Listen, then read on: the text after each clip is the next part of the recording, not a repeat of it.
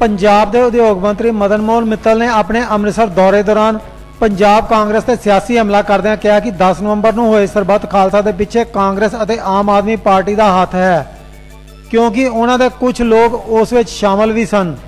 ਉਹਨਾਂ ਕਿਹਾ ਕਿ ਪੰਜਾਬ 'ਚ ਜੋ ਕੁਝ ਹੋ ਰਿਹਾ ਹੈ, ਉਸ ਪਿੱਛੇ ਵੀ ਕਾਂਗਰਸ ਦਾ ਹੱਥ ਹੈ। ਉਹਨਾਂ ਸੁਖਬੀਰ ਬਾਦਲ ਵੱਲੋਂ ਆਈਐਸਆਈ ਤੇ ਬਿਆਨ ਨੂੰ ਸਹੀ ਦੱਸਿਆ।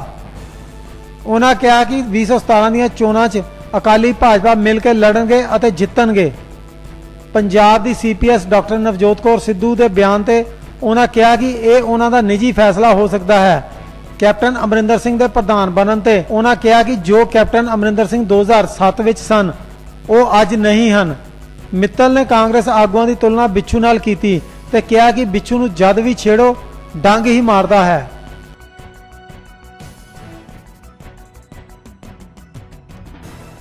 जो घटनाएँ हुई हैं, ये बड़ी कंस्पिरेसी है बड़ी साजिश है। और particularly when we are entering the election year जो सरबत खालसा का प्रोग्राम हुआ यहाँ अमृतसर के पास, अब उसमें देखिए मंच पे कौन लोग जाते हैं? वहाँ पर कांग्रेस के नेता थे बीएसपी का भी एक नेता था, श्रोमणी नेता। और आपके नेता, मुझे as I see as a student of politics कि ये सारा वही चक्कर जो पहले चला था कांग्रेस के राज में जिस ढंग से घटनाएँ उस वक्त हुई, ये घटना चक्कर उसी ढंग का हुआ। Dope test is separate. अगर आप डोप टेस्ट को इसके साथ जोड़ते हो, इसका मतलब आप इस विषय की गंभीरता को नहीं देखते। Dope test is is individualist.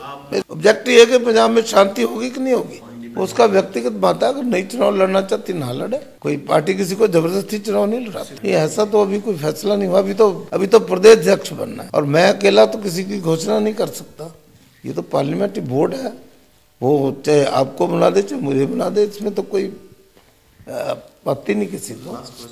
Captain Narendra Singh पहले भी कैप्टन नरेंद्र ही लीड कर रहा था अब कैप्टन अमरिंदर में कुछ ज़्यादा एनर्जी आ गई। पिछले 2012 के बाद पाँच साल उसने भी तो उम्र उसकी आगे बढ़ी है तो शक्ति भी तो कम होती है। दो चुनाव तो उनके नेतृत्व में लड़े गए हैं। तो मैं उनको बिच्छू की परिभाषा ये मैंने कहानी सुनाई है। ऐसा नहीं है कहीं कल आप कहे देखो जी उन्होंने बिच्छू कह दिया। They are respectable leaders of Punjab. I respect them.